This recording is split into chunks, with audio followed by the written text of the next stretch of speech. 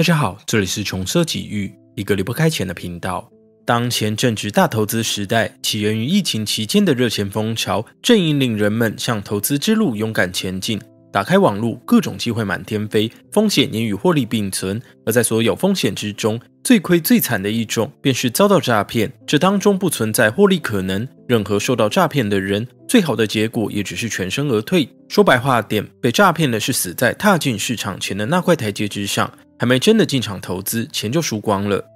而在火热的外汇市场上，目前也存在几大常见的投资诈骗手法。本期影片便要来聊聊这个话题，分享一些案例，希望能跟朋友们一起避开火坑。我们后段影片中的不少资讯来自英国的大型交易集团 IG，这里我简单介绍一下为何会选择这家公司作为外汇交易供应商的佼佼者。IG 集团的历史相当悠久，一九七四年诞生于英国伦敦，是富时二五零成分公司，也是全球最早提供差价合约交易的企业。当前已在全球五大洲开设十七个销售办公室。至于安全性面向，IG 每家分公司都在所在地接受监管，像是英国 FCA、澳洲 ASIC、新加坡的 MAS、百慕达 BMA，他们将客户资金与自有资金隔离存放。即使 IG 或存放银行倒闭，客户的存款仍受到托管资金的法律保障。而在操作方面，IG 的交易单设计的简单清晰，市价、点差与保证金一目了然。其中还内置接入 MT4 等市场上的主要平台。更重要的一点在于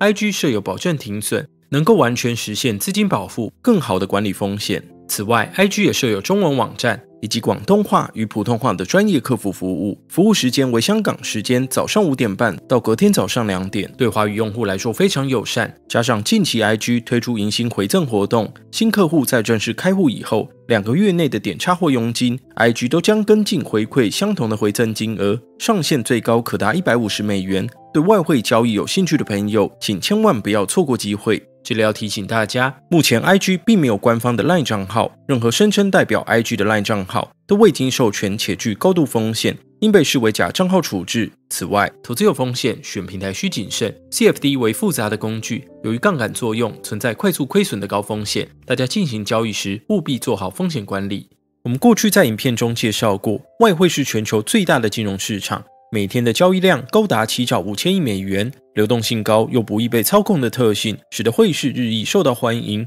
便与股票与房市并称股汇房三市。外汇市场指的是不同国家地区之间从事外汇买卖的交易场所，运作基础来自汇率的升降，其中货币价值的高低变化，不仅可被用来操作投资，也影响到人们的生活。像日币不断走贬，就增加外籍游客前去消费的动力。而在这个市场上，存在以下几个常见的诈骗手法。第一种该留意的，便是隐藏在话术之下的陷阱。俗话说，魔鬼藏在细节里。任何带有杰出成效的宣传，或多或少都隐蔽了一些资讯在其中。而在外汇交易领域，最常见的诈骗手法之一，就是超乎常识的高返佣或高回馈。外汇诈骗集团常见的手法，就是寄出重大回馈优惠，唯一的条件就是满足入金门槛。但如果看到返佣的利率过高，朋友们就务必要提高警觉，因为这是外汇诈骗的常见手法，背后甚至有庞氏骗局的可能性存在。在许多案例中，人们入了金，前面也能领到钱，但后来进场的却突然发现遭遇恶性倒闭，最终不止拿不到返佣，甚至连本金也无法领回。至于多少的利率算过高，这里我们无法给出一个标准值。建议朋友们参考有信誉且真实受到金融机构监管的平台，看看各家普遍给出的回馈数字，再拿来跟目标物比较，就像在买菜比价一样，多比几家不吃亏。承继这条路线，我们要带出第二个常见的诈骗手法，那就是利用高返佣加上介绍奖励，有亲朋好友向深盘宣传的骗局。在第一条中，我们聊过某些类似庞氏骗局的诈骗手法。让受害者的操作简单快速，返佣也是给的毫不啰嗦，这样就会塑造出一个看似稳当无害的迅速赚钱方式。而某些平台会加码推出介绍优惠，只要推荐一名使用者进来，不管是开户还是达到入金需求，都会给予相对应的奖励。也因此，不少人自己尝到甜头后，便秉持有钱大家赚的心理，开始好心的帮平台宣传，甚至协助亲友开户操作，进而扩大受害者的群众数量。这里我们不是要朋友们怀疑亲朋好友，而是在投资市场上，任何资讯都值得怀疑。小心驶得万年船，家人朋友会不会骗你，跟平台会不会骗你是两回事，请千万不要混为一谈。第三个常见的诈骗手法，则是代操跟跟单诈骗。这类诈骗常见于各大网络平台上出现的宣传广告，其中不少广告都塑造出专业老师的人设形象。并晒出漂亮的获利成绩单，鼓吹朋友请他代操或跟着分析下单的利润会有多么惊人。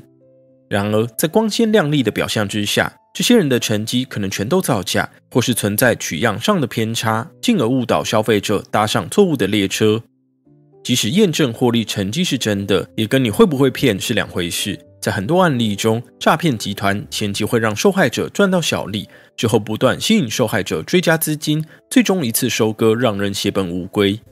第四个常见的手法在于假网站、钓鱼网站或诱骗下载不明的交易软体。这类做法是在平台上下手，有的会将精心设计的钓鱼网站伪装成正规网站入口。在投放广告加以宣传，这类钓鱼诈骗通常会要求投资人输入个人资讯，像是正版网站的登录诈密或是信用卡资料等，并借此获得不法利益。除了钓鱼网站，目前各大平台上也存在许多来路不明的团伙，有些人会透过 Line、脸书、Telegram 或其他通讯软体。伺机与受害者展开联络，一步步消除对方的戒心，同时引导受害者进行一系列操作。过程中每个动作都有预设好的名目，只要第一步的心理建设破防，中招后就很难自立逃出。对于这点，我们要知道一件事：绝大多数有牌照且受监管的正规外汇投资平台，都不太可能透过通讯软体一对一指示客户下载不明的 App 程式，也不会在平台体制之外指示客户入金到指定账户。因此，遇上这类状况，多半就是诈骗。第五个常见的坑是以合理包装不合理的诈骗手法。我们知道，正规的投资中，风险总是与报酬并存，且高风险往往伴随高报酬。因此，如果站在外汇交易市场中，看到主打低风险高报酬的交易方式时，无论对方说的多么天花乱坠，我们都必须打上好几个问号。当前在外汇交易市场，特别是保证金交易项目中，风险总是跟报酬成正比关系。因此，如果我们看到强调某种量化策略交易能在创造高报酬时承担极低的风险，这种套路就非常可能是诈骗，或在一定程度上有欺瞒的行为。说了这么多常见的诈骗手法，我们最后要来看看有哪些做法可以协助投资人尽可能的避开诈骗。首先，还是要回到平台的正规性上。无论是真正用心经营的平台，还是诈骗集团，平台在宣传时都会声称自己受到金融机构监管，透过没成本的话术削弱消费者第一时间的戒心。也因此，我们第一步要做的就是查验他们的说辞。这点听起来麻烦，执行起来其实并不困难。以市场上常见的外汇交易平台来说，经常出现的监管机构。包括了美国全国期货协会、瑞士金融市场监管局、加拿大投资业监管机构、日本金融厅、新加坡金融管理局、英国金融行为监管局与澳大利亚证券及投资委员会。这些监管机构都有官网，点进去就有相对应的栏位，可以查询平台是否真的受到该机构监管。这样的做法的好处在于，只要试过一次，以后查验的速度就很快，可以用零成本的方式排除掉一大批潜在的诈骗风险。